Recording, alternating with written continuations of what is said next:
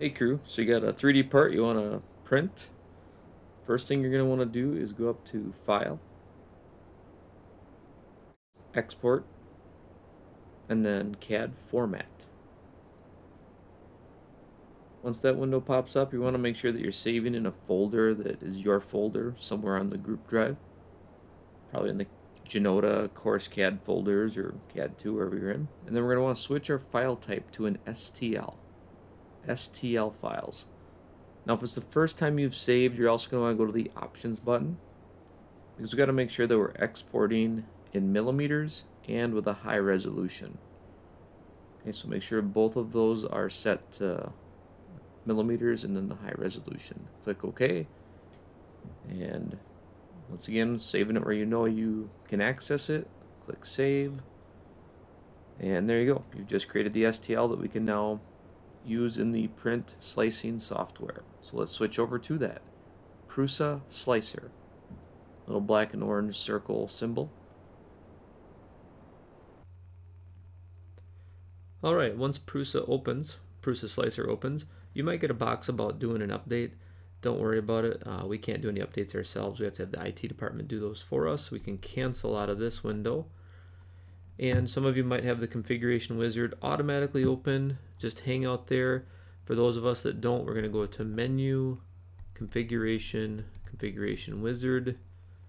And that will bring us back into how this software is kind of set up. And what we may need to do is you do not have to log into anything, just optional. Uh, configuration sources, these are the two that we want to have checked. We're going to then go to Prusa Research. Once it loads, there we go. Uh, by default, the MK4 here, is, we're going to uncheck that because I think it is checked when it first opens. We're going to uncheck that one and then check the first box on the third machine. MK4 input shaper, not four, the first one's a 4S. They all look similar, but the MK4 is what we have at school. Couple of those, so check that box please. And then we'll scroll down to the MK3 family. Oh, I went right by it. There it is, MK3 family. And we're going to check the box in the first one. Those are what most of the printers in the classroom are, MK3S pluses. Then on the left side, we're going to go down to Prusa Research SLA. These are like liquid 3D printers. They use a liquid resin. We do not have any of those. We're going to uncheck that. We don't want that as an option even. Then we should be able to jump down to filaments.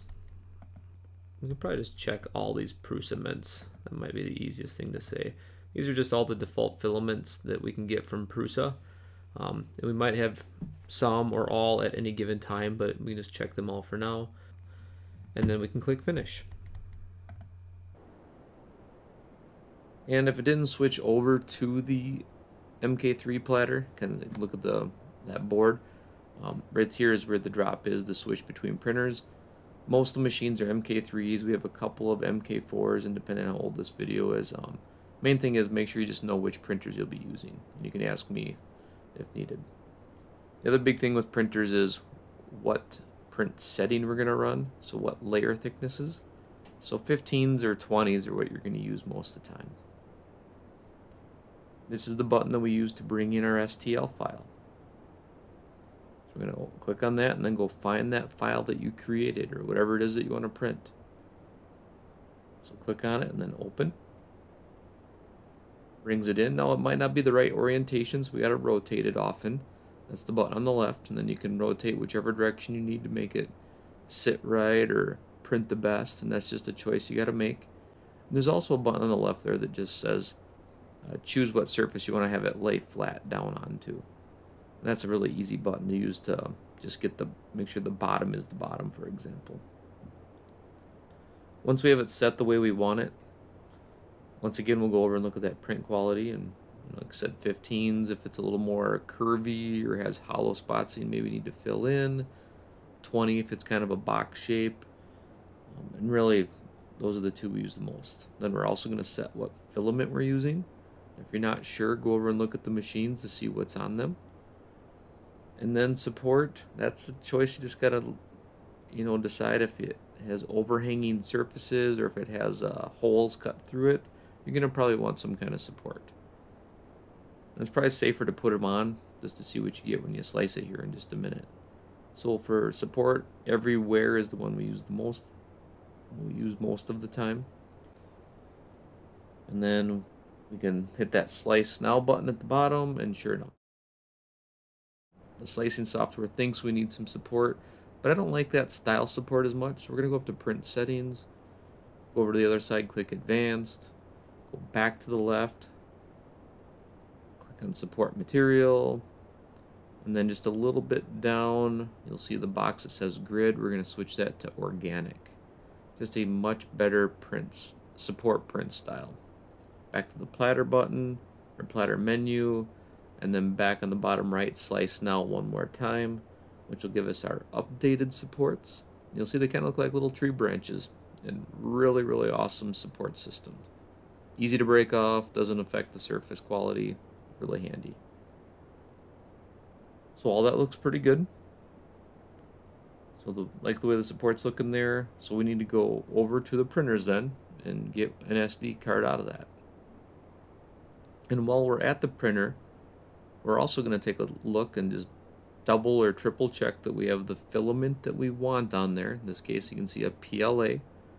So it's important to know what filament is on the printer every time you print and how much is on there.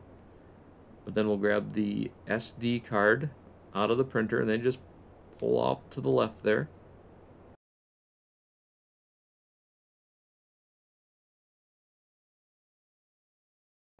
And then on Prusa Slicer, you're going to see a little button show up in the bottom right corner.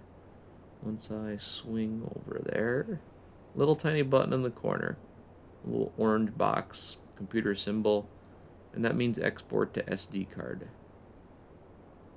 I go put my mouse on that here in just a minute. Here we go, click on it, pops a window up, which is automatically going to be saving the G code to our SD card. Once again, right to the SD card's fine. And then eject button.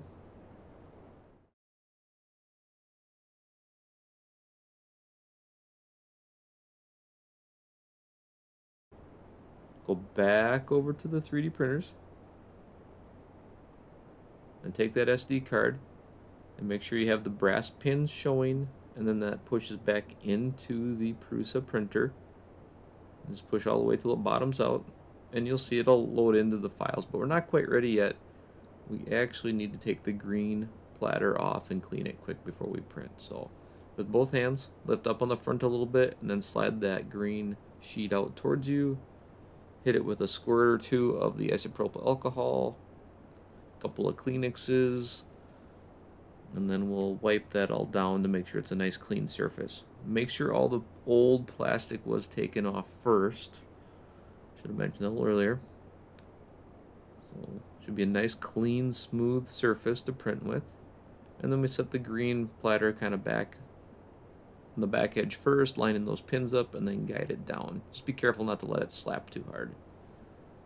Once that's on, we center click the knob, scroll down to print from SD, not too fast on the dial, but center click for selection, scroll down to your file, center click again, and if it does say firmware, just click one more time, and that finally starts it.